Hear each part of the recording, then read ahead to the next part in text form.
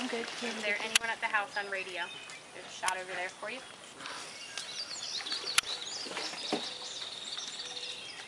Uh,